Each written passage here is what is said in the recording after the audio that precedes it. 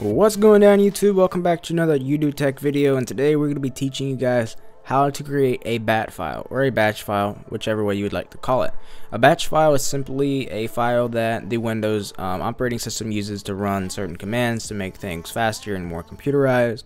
So like if you want to go, I mean there's thousands of tasks you can do with this, whether it's from IP configs, just looking at system information, to sorting out files and uh, making file directories, deleting file directories, um, even sorting images, renaming files, um, even browsing the web. If you want to make a bat file to where you just double click on it and it opens up the most used websites you use so you don't have to go and click on each one individually um, then that's what you can use it for I mean it's actually really cool and it makes things a lot faster so what we can do here is I mean you could do is you could use an IDE like uh, the Visual Studios or whatever of win that Windows offers for you to be able to code things, or you can just go and make a text document. That's what I suggest.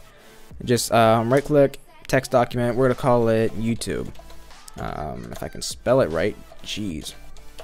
Alright, so once you got that, it's a text document. Just open it up.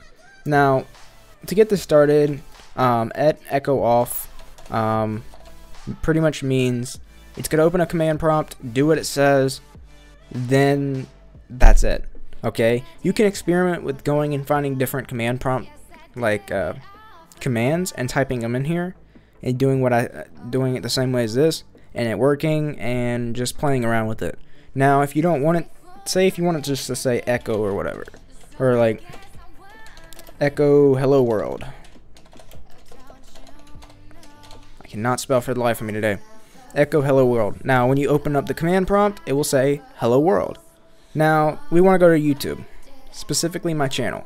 Alright, so uh, we don't need it to say, tell us anything in the command prompt, so we're going to just say et echo off, and then we're going to go to start, and then we're going to just paste in whatever URL you want to go to.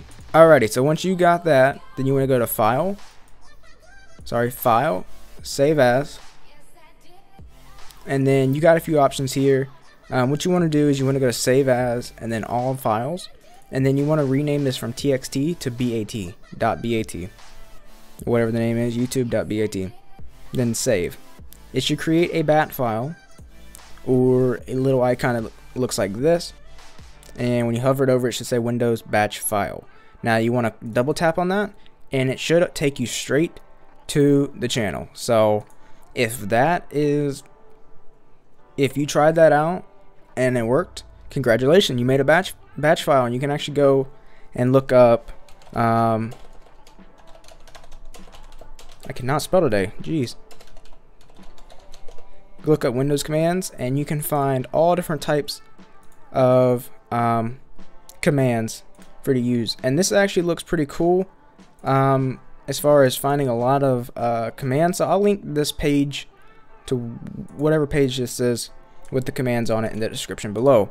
But that is how you make a batch file or bat file. So, I mean, quite simple. I think it is.